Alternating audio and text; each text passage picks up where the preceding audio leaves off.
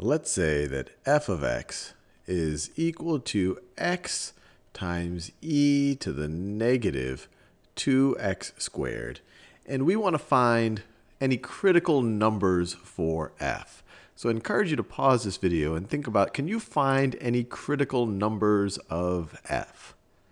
So I'm assuming you've given a go at it. So let's just remind ourselves what a critical number is.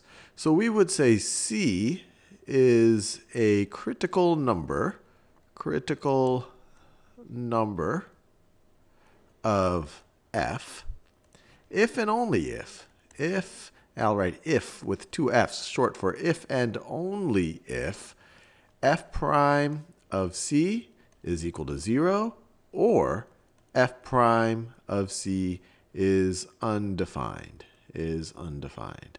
So if we look for the critical numbers for f, we want to figure out all the places where the derivative of this with respect to x is either equal to 0 or it is undefined. So let's think about how we can find the derivative of this. So let's see, f prime of x, f prime of x is going to be, well, let's see, we're going to have to apply some combination of the product rule and the chain rule. So it's going to be the derivative of, it's going to be the derivative with respect to x of x of x, so it's going to be that, times e to the negative 2x squared plus, plus the derivative with respect to x, plus the derivative with respect to x of e to the negative 2x squared, of e to the negative 2x squared times times x times x. So this is just the product rule right over here. Derivative of this of the x times e to the negative 2x squared plus the derivative of e to the negative 2x squared times x right over here. So what is this going to be? Well, all of this stuff in magenta, the derivative of x with respect to x, that's just going to be equal to 1. So this first part is going to be equal to e to the negative 2x squared and now the derivative of e to the negative 2x squared over here, I'll do this in this pink color. So this part right over here, that is going to be equal to, or just apply the chain rule. Derivative of e to the negative 2x squared with respect to negative 2x squared, well, that's just going to be e to the negative 2x squared. And we're going to multiply that times the derivative of negative 2x squared with respect to x. And so that's going to be what? Negative 4 negative 4x. So times negative 4x. And of course, we have this x over here. We have that x over there. And let's see, can we simplify it? Can we simplify it at all? Well, obviously, both of these terms have an e to the negative 2x squared. I'm going to try to figure out where this is either undefined or where this is equal to 0. So let's think about this a little bit.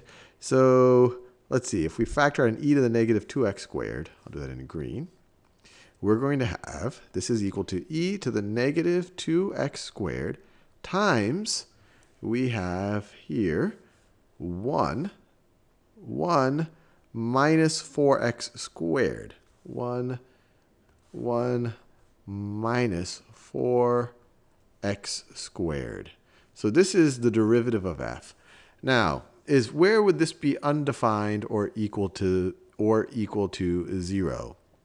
Well, let's see, e to the negative 2x squared, this is going to be defined for any, any value of x. This part is going to be defined. And this part is also going to be defined for any value of x. So this is, there's no points where this is undefined, but let's think about when this is going to be equal to 0. So you have this product of these two expressions equaling 0 e to the negative 2x squared, that'll never be equal to 0. If you get this exponent to be a really, I guess you could say, very negative number, you will approach 0, but you'll never get it to be. You'll never get it to be 0. So this part here can't be 0.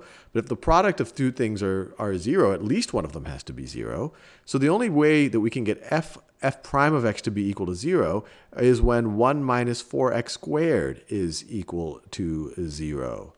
So 1 minus 4x squared is equal to 0. Let me rewrite that. 1 minus 4x squared is equal to 0. When does that happen? And this one we can just solve. Add 4x squared to both sides. You get 1 is equal to 4x squared. Divide both sides by 4. You get 1 fourth is equal to x squared.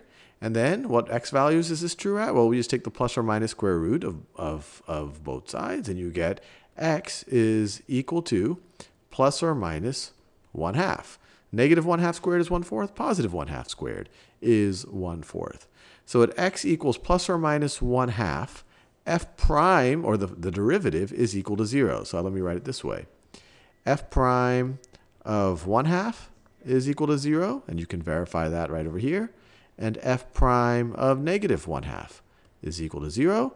So if someone asks what are, what are the critical numbers here, critical, critical numbers, they are 1 half and negative 1 half.